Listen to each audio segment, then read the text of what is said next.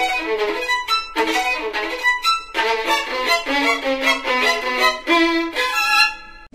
konnichiwa. Halo. Eh, perkenalkan nama aku Ina. Kali ini aku akan ngebajak channelnya Rocky Sensei untuk di acara curhat des. curhat des. Oke kemarin kan aku ditanya-tanya tuh sama Roku kali ini mumpung Rokunya nggak ada aku mau nanya-nanya salah satu narasumber. Eh, dia ini udah pernah belajar di Akinosora dalam beberapa waktu dan sekarang udah ke Jepang. Dan mumpung lagi pulang ke Indonesia, eh, siapa tahu kita bisa dapat informasi banyak juga tentang kerja di Jepang dan lain-lain. Oke, nggak usah lama-lama kita panggil aja langsung. Hai, silakan Raka-san. Konnichiwa. Konnichiwa. Konnichiwa. Lama Desu. gak ketemu. Hai, Raka-san dalam rangka apa nih pulang ke Indonesia? Kerja di sana udah setahun setengah nih. Terus emang kangen aja sama orang-orang di Bandung. Nah, terus teman juga kemarin uh, kebetulan nikah. Oh, Jadi oke oke oke. sekalian mengunjungi teman, sekalian juga liburan lah. Nah, gitu, nih. Yeah. Hai, hai. Emang udah berapa lama sih ini teman-teman kan, kan belum tahu ya. Hmm. Raka udah berapa lama nih di Jepang? Di Jepang tuh mulai berangkat tuh uh, Desember 2017. Desember 2017. 2017. Eh, jadi sama. ya, jadi sampai hari ini gitu. Per hari ini tuh jadi kayak kayaknya setahun setengah sih. Setahun setengah. Iya. Dalam selama setahun setengah tuh belum pernah pulang sama sekali. Belum pernah sama sekali. Belum pernah sama sekali. Belum pernah sama sekali. Oke. Jadi emang karena kangen terus balik ke Indonesia gitu ya. Betul. Udah setahun setengah. Emang Hmm. kegiatannya di sana apa nih, Raka? Jadi eh, di situ eh, saya kerja di salah satu recruiter. Hmm. Nah terus sekarang eh, baru pindah nih kantornya ke eh, ada namanya JP, JPX gitu. Salah satu kayak apa ya perusahaan IT gitu. Hmm. Perusahaan kayak sebenarnya kayak Telkom sebenarnya. Jadi kayak Oh. yang eh, apa ya kayak menjembatani ISP dan ISP lain gitu. Jadi eh, lebih ke IT lah kerjanya. IT ya? Nggak ngerti gitu, ISP, ISP nggak ngerti ya? Oke. Iya, iya, iya. Jadi selama setahun setengah kerja di suatu perusahaan, terus barusan kemarin pindah. Pindah. Oke. Gitu. Em- Emang dulunya backgroundnya emang IT. Backgroundnya emang IT. Backgroundnya emang IT Iya. terus pindah ke sana. Emang belajar bahasa Jepangnya berapa lama dulu di Akinosora? Nah dulu di Akinosara tuh eh, belajar bahasa Jepang kira-kira hampir setahun. Hampir setahun. Setahunan, ya. Setahun. Dulu kelas intensif ya. Kelas intensif. Suka Jadi dukanya ngebut sih. banget. Tuh ngebut banget. Jadi kayak dalam setahun udah harus em, belajar sampai kayaknya materinya sampai N2 Materinya sampai dua. sampai N2 cuman em, sebelum berangkat ke Jepang tuh udah ngambil N3 Oh N3, jadi Hmm. belajar setahun untuk materinya sampai N2 Cuman waktu itu lulusnya masih baru yang N3 Baru ya? N3, iya. Oke, kalau sekarang? kalau sekarang udah N2 N2 Untuk yang belum tahu ya, JLPT jadi Japanese Language Proficiency Test itu kayak ujian kemampuannya paling rendah itu ada di N N5. 5, paling tinggi di N1 Nah, Rakasang ini waktu setahun belajar di Akinosora, materinya udah belajar sampai N2 dan dia udah lulus N3 waktu, waktu berangkat ya hmm. dan sekarang udah punya N2. N2. N2 nya kalau nggak salah ngambilnya kapan? N2 nya Desember tahun kemarin Desember tahun kemarin udah dapet N2. Jadi Iya.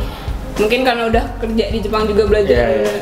di karena Jepang. ya karena di Jepangnya mungkin kerjaannya komunikasinya rata-rata sama orang Jepang Hmm, hmm, hmm, hmm. jadi kalau sama bule gitu lebih sedikit gitu ya. Oh. Jadi karena sama orang Jepang jadi kayak kedorong gitu. ya. Nah, Terpaksa bisa. Terpaksa, terpaksa harus uh, bisa berkomunikasi dengan orang Jepang. Oke. Ya, mungkin itu yang ngebantu jadi ya bisa ngambil N2 Dalam dia dalam ya kurun waktu segitu gitu. nah dulu nih. Ya, ya, ya. Terus kalau suka dukanya apa nih? Bela- apa kerja? Ini kerjanya kan full time ya? Maksudnya Kerjanya full time. bukan part time job kan ya? Kalau kata Mm-mm. ya. Um, mungkin kalau sukanya um, open gitu lingkungannya. Jadi Hmm. kayak um, rata-rata tuh orang-orangnya ngebantu uh, kita untuk belajar lebih. Jadi Oh, jadi kita berkembang, berkembang gitu ya? di situ. Jadi kayak uh, mereka uh, dalam misalkan lagi nggak sibuk nih, lagi nggak sibuk kerjaannya. Nah, mereka tuh kayak ngedorong kita untuk kayak belajar uh, untuk mendalami bidang itu gitu. Oh, oke. Hmm, Jadi meskipun nggak bisa uh, dimaklumi, Ah, cuman ah. uh, ya apa ya kayak uh, di- didorong lah gitu, kayak ki- kita supaya bi- bisa, Bisa, gitu akhirnya ya. gitu. Jadi bukan malah saling menjatuhkan apa segala macam, Iya. tapi didorong biar bisa, Ya. gitu teman-teman. Hmm, Rata-rata emang orang-orang di sana tuh uh, baik sih kalau untuk masalah kayak kerjaan, Hmm, hmm, hmm. yang kayak gitu mereka kayak mendorong juga kitanya uh, Oke, oke. supaya jadi bisa gitu. Oh, kalau dukanya nih dukanya banyak sih Dukanya banyak. dukanya banyak Ceritain dong. dukanya banyak Em, mungkin pertama kali karena ada culture shock juga ya Oh iya, Hmm, pasti. karena dari makanan dari bahasa juga bahkan yang ke sana karena em, selama belajar di sini tuh kan kayak belajarnya eh, materi maksudnya kayak dari buku lah Heeh. Nah, jadi kan kayak eh, komunikasi ke orang Jepang gitu kan. Mm. Ya meskipun pernah di sini ada orang Jepang yang ke sini gitu kan Mm. waktu Nihongo no Hi gitu. Cuman exposure-nya masih kurang kan. Oh, iya, nah, iya, di situ iya. jadi kayak awalnya tuh kaget. Mm-mm. Yang kayak gitu. Terus em, apa lagi ya? Mungkin eh, rasa kangen ya kalau misalnya rasa kangen kayak mak- ke makanan. Iya, makanan. Ya, kalau nggak orang tua gitu paling eh, teman-teman gitu. Itu agak ya sedih lah Sedih ya. Tinggal karena sendiri juga di ya sana. karena tinggal sendiri juga di sana Oke, Hmm. kalau untuk makanan apalagi ya Muslim Iya, kan ya kita pas di sana ada eh, kesulitan enggak? Kalau teman-teman nih yang mau ke sana eh, lebih baik pelajari dulu gitu Oh ya jadi makanan ini mengandung apa aja gitu ya? ya, ya.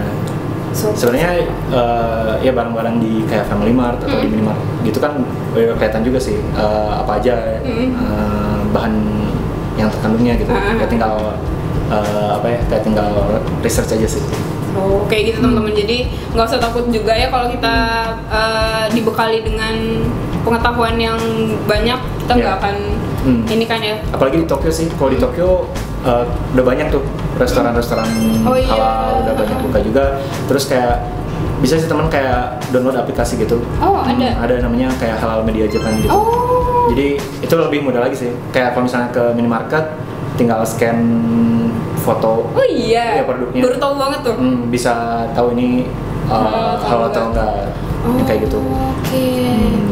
Kalau aku tuh pernahnya cuman di Asakusa tuh kan ada ramen Iya. halal punyanya oh Naritaya ya apa? Naritaya bukan Nggak tahu lupa namanya. Kayak Iya. pokoknya nama kayaknya orang Bangladesh atau orang mana Hmm. yang punya. Sama di Akihabara ada juga. Iya, iya. eh, apa sih kafe Jawa ya. hmm, Udah, jadi kalau misalnya untuk yang di ada ternyata ada aplikasi ini ya tadi namanya apa? halal media Japan Halal Media Japan kita bisa eh, nge-scan itu si makanannya halal atau enggak. Hmm. Oke, kalau apa lagi ya? Tempat Apa? favorit Tempat Tinggalnya di mana sih? Tinggalnya di mana? Ah, kalau sekarang tinggalnya di Kanagawa. Kanagawa. Hmm, jadi Kanagawa tuh pinggiran Tokyo lah. Oh, oke. Hmm, jadi kalau ke Tokyo itu mungkin kalau ke Shinjuku kayak sekitar 40 menit. Mm-mm. Kalau ke Shibuya mungkin kayak sekitar satu jam. Satu jam. Hmm, satu jam. Naik kereta ya? Naik kereta. Naik kereta. Hmm. Nggak naik motor kayak di sini.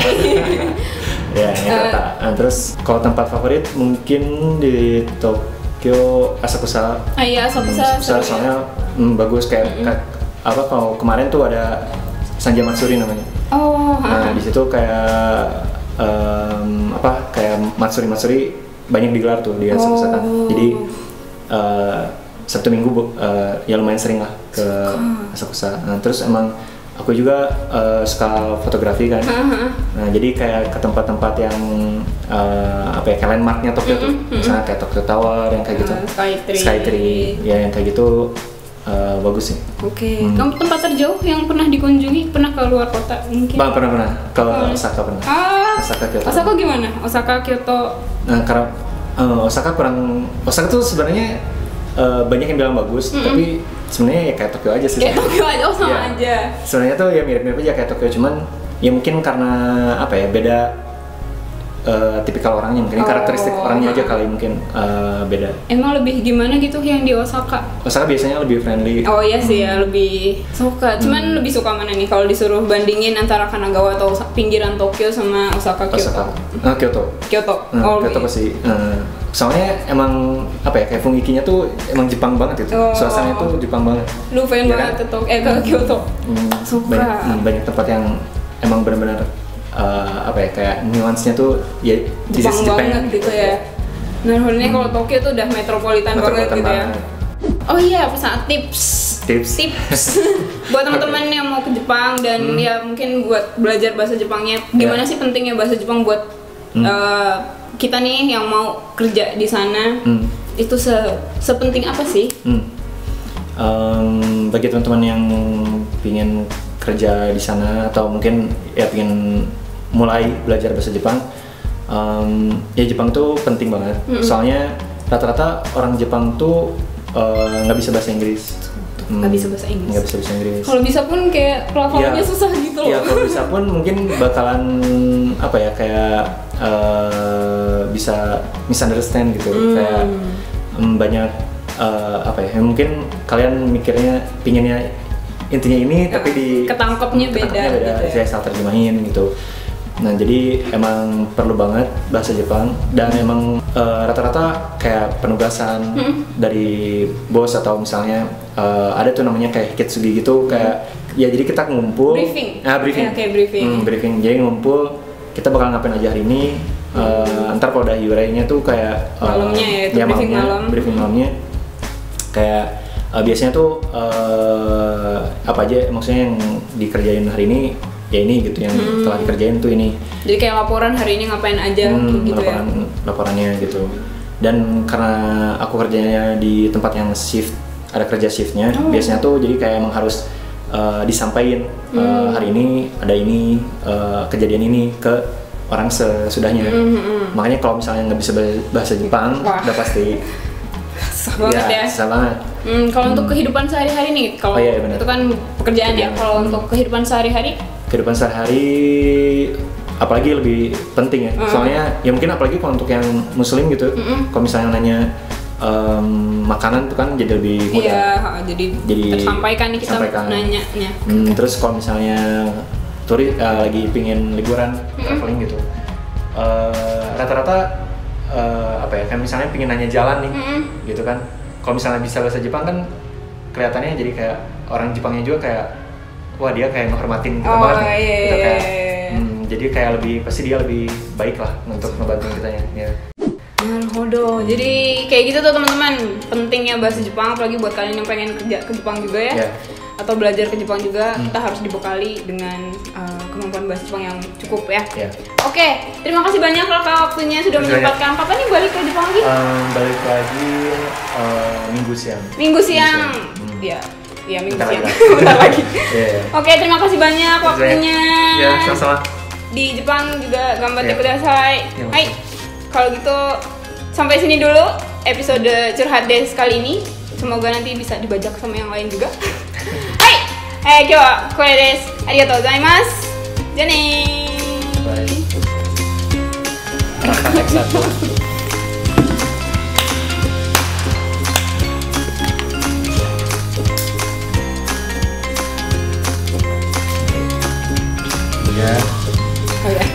とうございます。じ